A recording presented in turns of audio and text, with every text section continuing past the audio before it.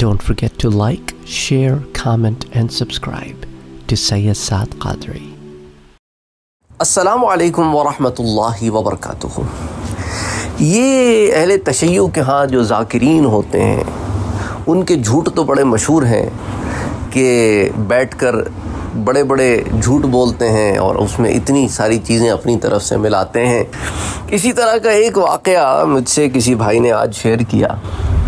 कि हज़रत इमाम हसन रज़ी अल्लाह तु और हज़रत अब्दुल्ला इबन उमर रज़ी अल्लाह तु का वाक़ कि ये दोनों बचपन में आपस में खेल रहे थे, कुछ रंजिश हो गई तो इमाम हसन ने यह कह दिया कि तुम ग़ुलाम, तुम्हारे अब्बा हमारे ग़ुलाम। हज़रत अब्दुल्ला इबन उमर जलाल में आ गए, वालिद साहब के पास गए। सारा वाक़ बताया। तो हज़रत उमर ने कहा कि अच्छा क्या वाकई हसन ने ये कहा है? तो उन्होंने कहा हाँ कहा है। तो उसके बाद वो हज़रत इमाम हसन के पास आए, हज़रत उमर रज़ी अल्लाह तु और कहा कि अच्छा आपने क्या ये कहा है? उन्होंने कहा हाँ मैंने कहा है। कहा, जो कहा है वो लिख के दे दें। और हज़रत उमर ने कहा कि, मैं जब इस दुनिया से जाऊँ तो मेरी कब्र में इसे लिख देना कि रोज़ क़यामत में अल्लाह के हुजूर से पेश करूँगा कि नवासा रसूल ने मुझे अपना ग़ुलाम कहा है। और इसमें उस जाकिर ने, ये तो मैंने बड़ा मुख्तसर आपको वाक़ बताया है, उसमें उसमें इतनी लगव बातें और बकवास भी साथ लगाई है अपनी तरफ़ से। वो बुग्ज़ है ना दिलों में इनका। हज़रत उमर रज़ी अल्लाह तु का बुग्ज़ है। हज़रत उमर रज़ी अल्लाह तु की औलाद का भी बुग्ज़ है। तो कह तो उसमें ऐड क्या करता है अस्तफ़िरल्ला कि हज़रत उमर ने अपने बेटे से अब्दुल्ला इबन उमर से बार बार पूछा कि तू झूठ तो नहीं बोल रहा? कहने का मकसद है माज़ अल्लाह अस्तफ़िरल्लाज़ीम साहबा की तरफ़ झूठ की नस्बत करना। और फिर बाद में इसको ऐड करता है कि हज़रत अब्दुल्ला इबन उमर ने अपने वालिद से वो चुरा लिया ख़त। फिर उनसे उनके बेटे ने चुरा लिया अस्तफ़िरल्लाज़ीम और करते करते वो बताने का मकसद क्या है ये सारी बातें? कि ये जो झूठ के पलंदे लिए फिरते हैं, ये तो झूठ बोल के फारिग हो जाते हैं। इनको पता है ये झूठ बोल रहे हैं। और उसके बाद वो सामने वाह वाह वाह वाह वाह वाह करने बैठ जाते हैं। वो तो बैठते इसीलिए हैं। कि साहबा के ऊपर अपना बुग्स निकालें। किसी हदीस की किताब में ये रिवायत मौजूद नहीं है। किसी हदीस की किताब में नहीं है। बाज़ किताबों में वाक़ों की जो किताबें होती हैं, सीरत की किताबें होती हैं, उनमें आ गई होगी। मिसाल के तौर पे बाज़ लोग कहते हैं, इसरार ख़ुतबात में आती है। बाज़ कहते हैं कि नूरुल अबसार में भी ये रिवायत आती है। लेकिन इसकी दिरायत में इतनी गलतियाँ हैं जिसकी कोई हद नहीं। क्योंकि वाक़ को इस तरह बयान करते हैं कि हज़रत हसन और हज़रत अब्दुल्ला इबन उमर बचपन में खेल रहे थे।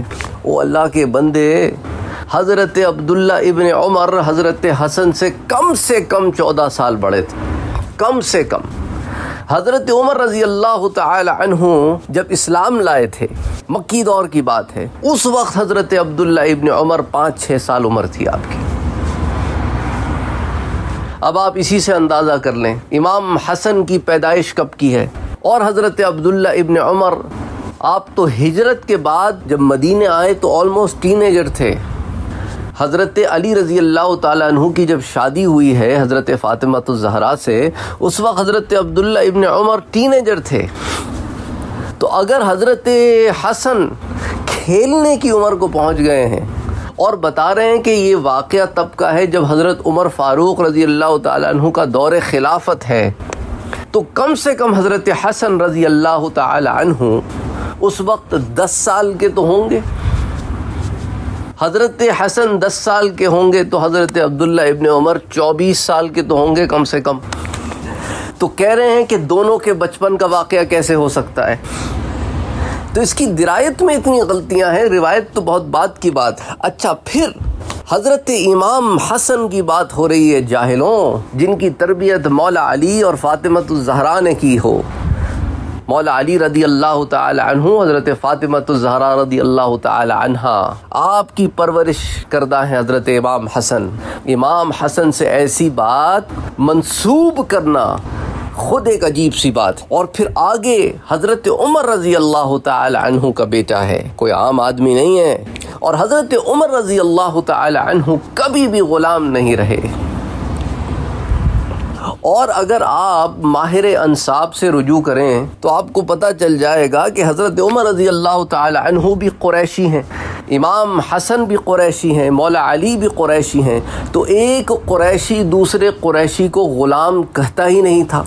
ये तो लसानियात के भी ख़िलाफ़ है, और रिवायात अरब के भी ख़िलाफ़ है, और रिवायात ख़ुरैश के भी ख़िलाफ़ है, और रिवायात अहल बैत के भी ख़िलाफ़ है। हज़रत उमर रज़ी अल्लाह तु बनु आदि से ताल्लुक़ रखते थे।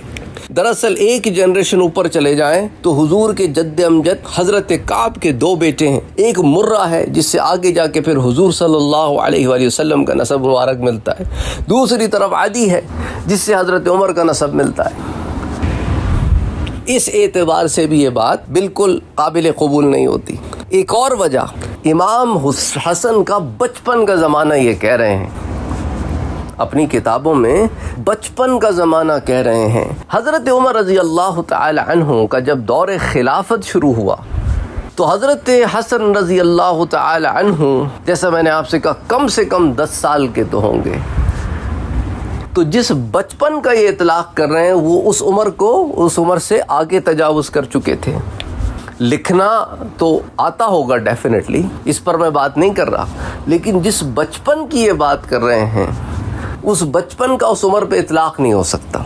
ये तो कम से कम मुद्दत बता रहा हूँ। अब ये भी शवाहिद नहीं है कि हज़रत उमर के दौर खिलाफत के दस सालों में वाक़ कब आया। क्योंकि हज़रत उमर रज़ी अल्लाह तु का दौर खिलाफत ख़त्म होते होते इमाम हसन तो जवान हो गए थे। अच्छा बफ़र्ज़ महाल, हज़रत अब्दुल्ला इबन उमर ना हो, हज़रत उमर का कोई और बेटा हो, वो भी मान लें तो ये हज़रत उमर का अहल बैत से मोहब्बत व अकीदत व अदब में कमाल और इज्ज है। ये तो हज़रत उमर का इज्ज है, उनकी इनकसारी है।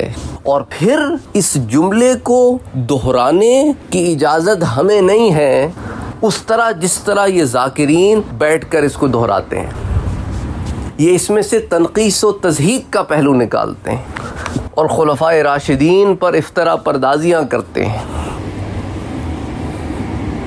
ये अपने जहल में अपने बुग्स में, अपने इनाद में, अपनी नफ़रत में ज़ाहिर करते हैं कि हमें अहल बैत से मोहब्बत है। हालाँकि अहल बैत के दुश्मन हैं, क्योंकि अहल बैत ने हज़रत अबू बकर और हज़रत उमर रज़ी अल्लाह तु को बड़ी फजीलत दी है। इस पर मैं आपको अलग दर्श दूँगा कि जब हम कहते हैं कि अहल सुन्नत वल जमात के नज़दीक अम्बिया कराम के बाद सबसे आला हज़रत अबू बकर सिद्दीक है। फिर सैदना उमर फ़ारूक हैं, फिर सैदना उस्मान गनी हैं फिर मौला अली करम अल्लाह वजह हैं। तो वो कहते हैं सीक्वेंस पर कोई दलील लाओ। सर, इस सीक्वेंस पर बुखारी से भी दलील मिल जाएगी और दीगर कुतुब हदीस से भी दलील मिल जाएगी। आइम्मा अहले बैत की रिवायात भी मिल जाएँगी। मौला अली का कौल भी मिल जाएगा। कसरत से अंबार इन ताला लगा देंगे। आप इसकी टेंशन ना लें, इसलिए इस पर एक अलग दर्श बनाएँगे। चले, आपके लिए एक रिवायत यहाँ दे देता हूँ, फिर कहेंगे कि फिर उस दर्स का हम कहाँ इंतज़ार करते फिरें। बुखारी की रिवायत दे देता हूँ। झगड़ा ही कोई नहीं। बुखारी की रिवायत दे देता हूँ। किताब है फ़ज़ाइल असहाब नबी सल्लल्लाहु अलैहि वसल्लम, हदीस number three thousand six hundred and seventy one. अच्छा इसके रावी इसके रावी पता है कौन है? सवाल पूछने वाला भी अहले बैत से और जवाब देने वाले भी अहले बैत से। अल्लाह अकबर अल्लाह अकबर। सवाल पूछने वाला मौला अली के बेटे मोहम्मद बिन हनफिया। जवाब देने वाले मौला अली खुद, बाहर की तो बात ही कोई नहीं है। घर की बात है। हज़रत मोहम्मद बिन हनफिया ने अपने वालिद से कुछ पूछा और फिर आगे उसे रिवायत भी किया। अगर बुग्ज शेखैन होता, हज़रत अबू बकर, हज़रत उमर रज़ी अल्लाह तु से कोई बुग्ज होता तो मोहम्मद बिन हनफिया बयानी ना करते, ना बयान करते। बयान करने से ये ज़ाहिर है कि अहल बैत में और दीगर सहाबा में कोई ऐसा मामला नहीं था, जिसको ये मजलिसों में बैठ के हाईलाइट करते हैं, पैसे बनाते हैं। जो जितना झूठ बोलता है, उतने पैसे मिलते हैं इन्हें। हज़रत मोहम्मद बिन हनफिया से रिवायत है। फरमाते हैं कि मैंने अपने वाले हज़रत अली रज़ी अल्लाह से अर्ज़ की कि अल्लाह के रसूल सल्लल्लाहु अलैहि वसल्लम के बाद लोगों में सबसे बेहतर कौन है? मौला अली ने जवाब दिया कि हज़रत अबू बकर। मैंने अर्ज़ की, फिर कौन? आपने फरमाया हज़रत उमर। रदी अल्लाह अल्लाह अकबर अल्लाह अकबर। ये वाक़ात हदीस की किताबों में इसीलिए अल्लाह ने हमारे लिए फैला दिए, इन किताबों को मशहूर भी कर दिया, मारूफ भी कर दिया, मकबूल भी कर दिया कि जब दाल्ला और बातिला इफ्तरा परदाजियाँ करें तो उनके जवाब भी मौजूद हों। अल्लाह ताला इन झूठों से बचाए लानतुल्लाकादिबीन अल्लाहुम्म सल्ली वसल्लिम वबारिक अला सय्यदिना व हबीबना व शफीअना मुहम्मद सल्लल्लाहु अलैहि वसल्लम Don't forget to like, share, comment and subscribe to Sayyid Saad Qadri.